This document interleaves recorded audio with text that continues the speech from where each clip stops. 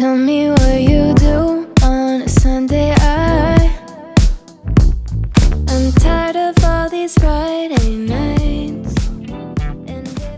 Hi everyone, welcome back to my channel. Today's video we are going to be doing a reading update. Again, it's been a couple months since I've filmed a wrap up, mainly because I have been really busy this summer. Moving out from college to traveling to starting my new internship, a lot happened very quickly. I also haven't been reading as much this year as in past years, and so even if I was doing wrap ups, I would have posted wrap ups where it'd be like two books a video. I really do want to start getting back into filming my traditional wrap ups where I talk about the movies and TV shows that I'm watching just because I've been getting back into watching movies. I also opened up a Letterboxd profile where I kind of rate and review all of the movies that I watch, kind of like I do on Goodreads. So I've been really having a fun time with that.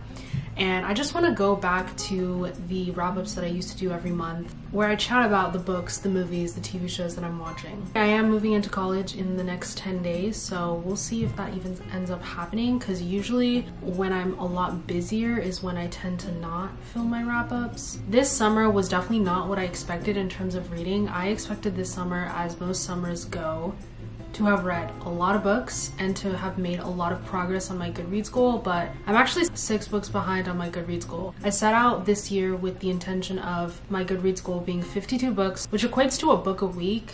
I felt like that was like a pretty doable Goodreads goal. And I wouldn't say necessarily like I'm in a reading slump. I haven't been reading as much. I've been busy and also the times when I'm not busy, I've been leaning more towards watching movies and TV shows. And so today I'm gonna update you guys on the books that I read in the months of May, June, and July.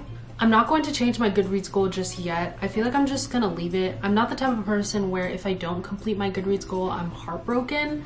I do think even though I'm six books behind, there may be time to catch up, but I'm also not gonna put pressure on myself to complete my Goodreads goal this year because I think when you just leave room for grace and you allow yourself the space to not read when you don't feel like reading, in the long run, that kind of prevents the joy being taken away from something that you love, like reading. Just a healthy reminder for those of you guys who may feel behind or guilty because you're not as on track as you want to be with your Goodreads goal. It's okay, it's literally just a number at the end of the year. So the first book that I finished in the month of May is Elektra. This is by Jennifer Saint. This is the companion novel to her debut novel Ariadne, which I read last year. I loved. I rated it a 5 out of 5 stars. I rated this one similarly a 5 out of 5 stars. I enjoyed this a lot. This book is very similar to her debut novel in terms of it being a kind of Greek myth told in the perspective of a female, but instead of just having one main character or one POV in this book, we follow three POVs. So from what I remember, because this is it's been a couple months since I've read it, the three main perspectives are Clytemnestra, Princess Cassandra, and Elektra. And this is kind of these three very different POVs during the Trojan War. I have read a lot about the Trojan War and I've learned about the Trojan War extensively, but never through a female perspective. And that's one of the things that I really appreciate about Jennifer Saint's books is that we get kind of these Greek myths that we've always heard through such a male lens through a female perspective. And reading that through a female perspective, I feel like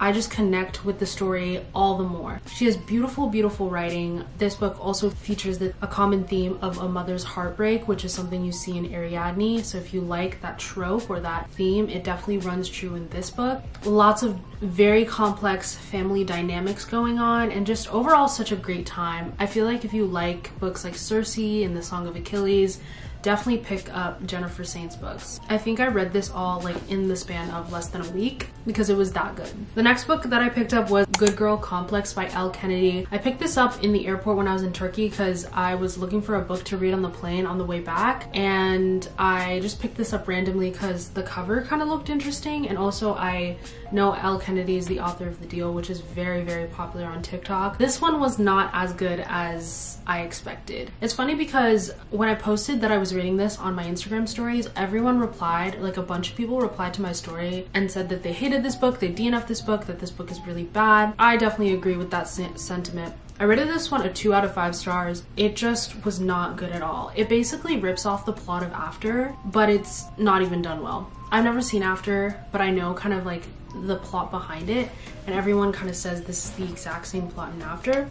It just was not do- done well. I felt like it was like poor writing. I felt like the characters were just so two-dimensional to the point where like i didn't even care or want to root for them. And i think that is such a huge flaw. Like if you don't even have characters that i can root for or get along with why am i reading your book? And the thing i think that shocked me the most about this is that i thought that this was like one of her backlisted titles because the deal is so popular and people love her books. But no, this book came out after the deal, which I was very surprised by. I don't know if she just was really successful with the deal and she just got lazy or if she got lucky, but this was not it. Definitely don't recommend anyone pick up this book. I could have DNF'd it, frankly. 100 pages in, I could tell that I wasn't gonna enjoy it, but I wanted to give it like a full chance do I regret DNFing it? Just just slightly because it took me like a month to get through this book and I feel like if I had just DNF'd it earlier on I could have gone through more books. The next book that I picked up is Finding Me by Viola Davis. I listened to the audiobook of this, which I definitely recommend the audiobook. I always recommend the audiobooks when it comes to memoirs because 99% of the time they're narrated by the author themselves. So it it feels like it's such a cool experience because it feels like you have this famous person telling you the story of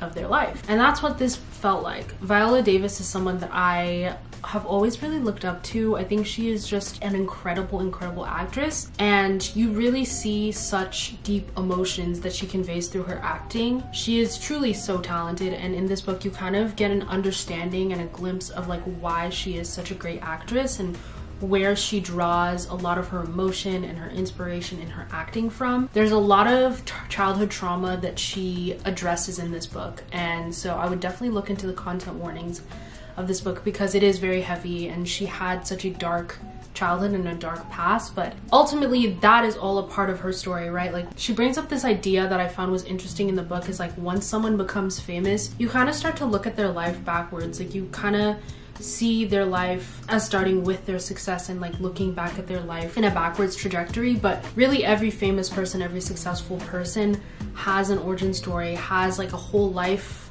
behind them that started before their fame and success. And so this deals with a lot of that. It is just such a beautiful book that you can learn so many life lessons in and it's very very short as well. Usually memoirs can kind of be on the longer side. This one is under th 300 pages. So if you're looking to get into non some nonfiction if you're looking for some memoir recs definitely pick up this one. Those are the only books that i completed between the months of may and july. Again it's not a lot so i want to chat really quickly about the three books that I'm currently reading at the moment, and a few books that I have on my TBR that I want to get to in the coming weeks. So I'm currently reading the roughest draft. I honestly think that I should be able to finish this in the next few days because I have very little bit of little of it left. I got this rec from Chandler Ainsley's channel. She was doing a vlog where she was recommending books instead of popular books. So books she likes, books she thinks did it better than the popular books. And I think she was saying this did it better than Book Lovers, which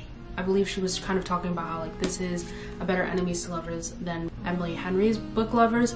I've never read Emily Henry's books. I know her books are really, really popular. I have Beach Read and People We Met on Vacation both on my TBR, but who knows when I'll even get to those books. But I wanted to pick up this one because I think the premise sounded really, really interesting. So basically, it's these two authors. They're a very famous co-author duo. They wrote like three books in the past together. For some odd reason, they mysteriously broke up. They stopped writing books together and no one knows why. Four years goes on and all of a sudden they're writing a book together in Florida. So you kind of get to see in flashbacks what happened four years prior to make them stop writing books together and also why they're all a sudden mysteriously writing a book together now. It's really, really interesting, very slow burn. It is really beautifully written, like a lot of beautiful passages. Another cool aspect of the book is it includes passages and prose and like chapters from the book that they're actually writing, which is really cool because you kind of get to see like almost two stories within one. I don't think I've ever really read a book about someone writing a book before, so I feel like that is also cool because like seeing a author's process is very interesting and unique because I think as a reader we kind of only kind of see the final product but there's a lot of work that goes into writing books. So far, I'm enjoying it. I'm a good ways through it. I have less than 100 pages left of it, and I should be finishing this in the next few days. So stay tuned for the vlogs to see what my final thoughts are on this book. The next book that I am currently in the middle of is Night Nightcrawling by Leila Mottley. Talked about this quite a bit on my vlogs and also on my Instagram stories. I'm really, really excited about this book because my internship at the women's center we are we have a program like we have an event in august where leila Mottley is going to be coming in for this event and it's really really exciting. It's actually a collaborative event with bookshop santa cruz. It's like the bookstore in santa cruz and it's an in-person event. Unfortunately i can't be there because it is going to be in august when I think it's on my first day of classes at Berkeley, so unfortunately I won't be able to make it. But we're still having like the book club, so every week we kind of meet, we talk about the chapters that we read and discussed, and we have really, really amazing conversations. Truly, not enough time to talk about this book with these people, but absolutely loving this book. There's just so much to unpack with this, and I think that there's no better way to kind of consume this story than in community with other people, kind of like discussing everything that's going on. This is another one of those cases where it is dealing with very heavy topics, so I would definitely recommend looking into the content warnings of this. It's also based on like a true story, so it takes place in Oakland. It's dealing with a police brutality and aggravated assault case. Our main character is very young, she's a minor, and so there's a lot going on with this book and I definitely recommend looking into the trigger warnings before proceeding with this book because it is very heavy. To me, the most shocking aspect of this book is that Leila Mottley wrote this book when she was 19 years old. I am genuinely baffled because it is it has such beautiful beautiful prose beautiful beautiful writing. And listening to the audiobook of this it feels like I'm listening to poetry read aloud. It is so beautiful. So I recommend the audiobook for this one for sure because the narrator does such a great job at like encompassing this character's voice and bringing this story to life. Such a good book. I'm currently in the middle of one more book. It's a lot, I know. Usually I try and keep it down to one or two books that I'm currently in the middle of. But I'm also reading Pachinko by Min, Lee, Min Jin Lee.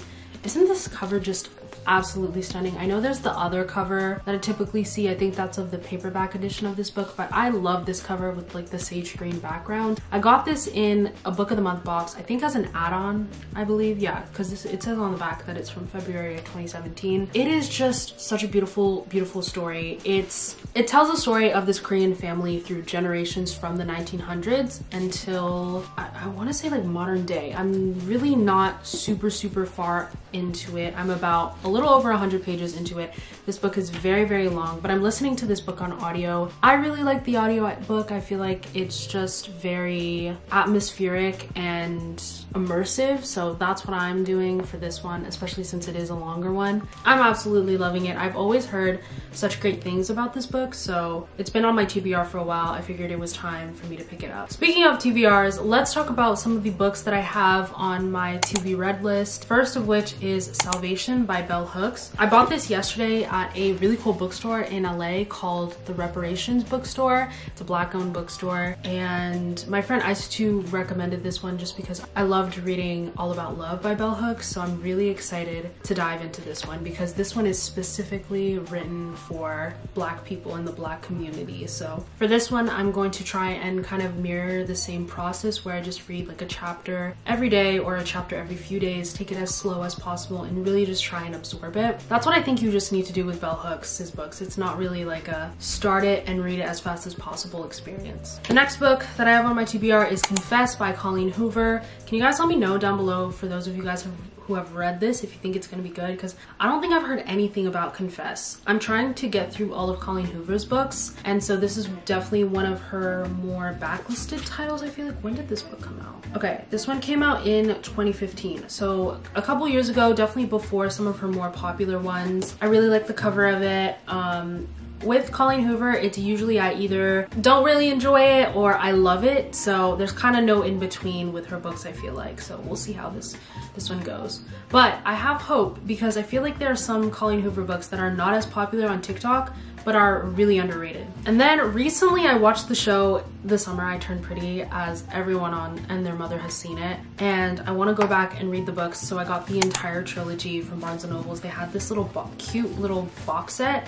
So I got The Summer I Turned Pretty, It's Not Summer Without You, and We'll Always Have Summer. And look how stunning these covers look. Honestly, I wasn't gonna read the books because I always heard that the books are just not nearly as good as the show. But the fact that we have to wait another year to find out what happens next is just not acceptable. Also, these covers were just so cute. I could not resist getting them and I figured if I'm going to buy them, I might as well read them. They're really short, so I feel like they shouldn't take too long. Like I could low-key read these in a week all three. They're all very, very short. And I'm sure from my experience with Jenny Han's writing, her books are very easy to read and very like quick to read, quick to get through. So we'll see how I feel about those. But overall, my expectations are very low because I know that the books are not as good as the show. I have another nonfiction book, Hood Feminism. This is notes from the women that a movement forgot by Mikki Kendall. So this is a nonfiction book about